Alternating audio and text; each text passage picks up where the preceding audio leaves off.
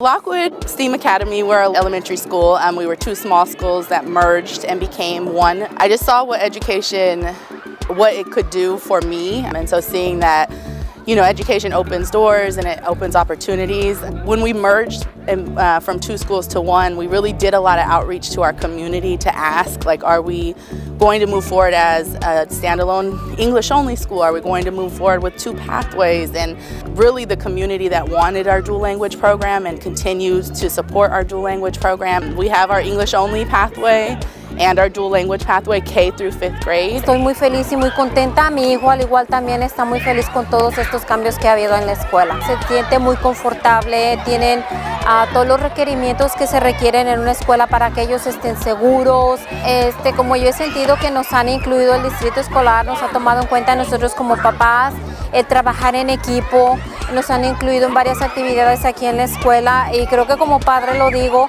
para mí ha sido fundamental, ha sido de gran ayuda. Estamos al pendiente de, nuestros hijos, las cosas que están pasando, los cambios que se van obteniendo y obvio que es para el progreso de nuestros hijos. Seeing the new spaces has definitely inspired me to get more gameplay going.